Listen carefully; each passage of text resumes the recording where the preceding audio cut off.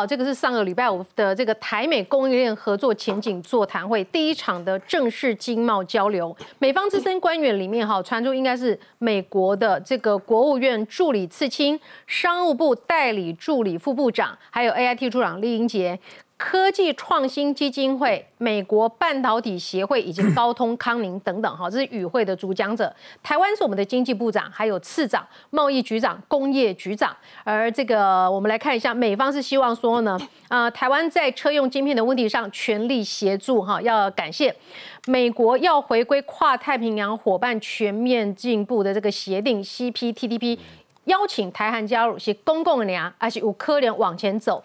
支持台美签署 FTA 有没有可能性？哈，清华，我相信你也高度关注这一场这个会议的交流，有这样的一个可能性吗？啊，是个公共的呀。当然有这个可能性，而且我们要告诉观众朋友，在过去二零二零年里面，证明了台湾半导体的价值。所以，我们看一下台积电的股价呢，就像我们刚刚开头不是讲吗？雄鹤哦，大概让心里看，刚每当探五砸丢啦。你看，从二零一七、一八、一九、二零二一，你看台积电的股价是怎样呢？一支安尼撸起撸管。K 个雄关哎，一股要六百七十九块，到封关的时候它也有六百三十几块，所以你看台积电它写下了什么呢？写下台积电我们变成什么呢？挤进全球前十大市值的公司哦，那台湾贵企不安内哦，台湾第一间公司哦变成全球前十大市值，而且你看。比股神巴菲特的公司，它的市值还要高。然后呢，你再看一件事情哦，上面排名在前十名的有 Apple 啦、沙地阿拉伯石油公司啦、微软啦、亚马逊啦，哎，台积电等于是跟全世界的大咖大家伙都并列在名单上哦。那我们再让观众朋友再更具体了解一下，我们台积电的价值超越了哪一些公司？打开看麦哦，像这个。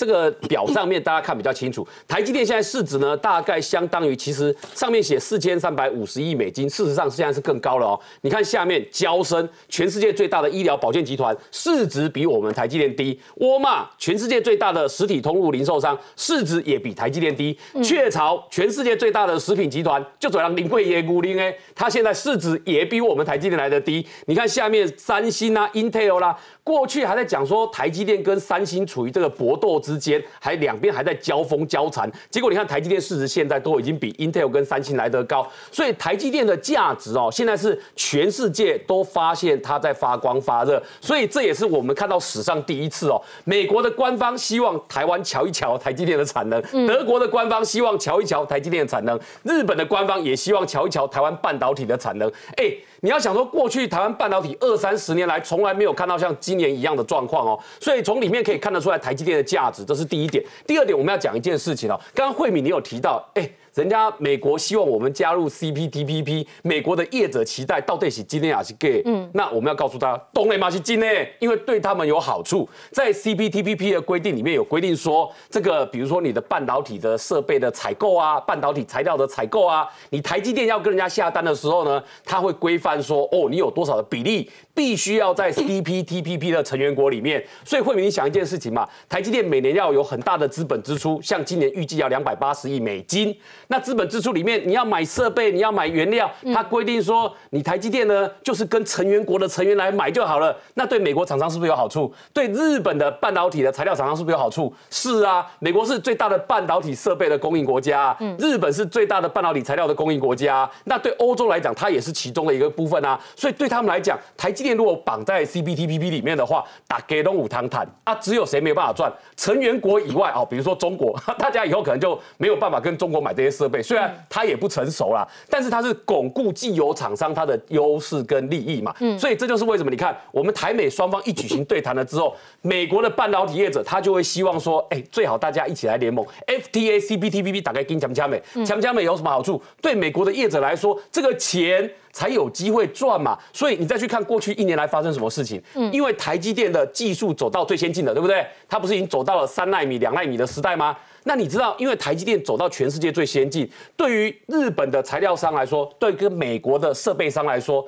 我都要配合台积电做开发，但是我配合台积电开发要干嘛？到台湾来设厂，把就业机会留在台湾，同时帮助他美国跟日本的厂商也取得世界最先进的地位。所以你看，日本的那个材料商信越化学，他就要到台湾来设厂，是为了配合台积电。美国的默克到台到台湾来设厂，也是为了台积电。所以对他们来讲，跟你结台湾结成同盟，对大家都有好处。这也是为什么我们说，在过去一年里面呢，突然间台积电让全世界都发现台湾的半导体越来越重要。那越来越重要的关键之一就是台积。电它是一个护国神山，带着后面一群台湾的上下游业者一起向前冲，所以你就会发现一件事：开头我们在讲这件事情有没有可能发生？当然是有可能发生的嘛，而且还是大家都很期待它发生。嗯，那就你的观察，就是说这个美国的业者呼吁说，我们是不是可以签署跟美国的自由贸易协定啊？哈，跟那个 CPTPP 啊，对台湾除了就是说设厂之外，还有什么相关的好处呢？维持我们半导体的竞争优势。嗯，那你看哦，对于这个台湾来讲，今天美国跟台湾合作，日本跟台湾合作，那美国跟日本的厂商，他以后相关的东西要下晶片的时候，要下给谁？嗯，下给台湾啊。那他委托做 IC 设计的时候，他也可以委托给台湾的公司做啊。嗯，那对他的车厂来讲，他的零组件也可以跟你台湾去买啊。那所以对他来说，这个安全性跟他的这个我们说技术合作都有保障嘛，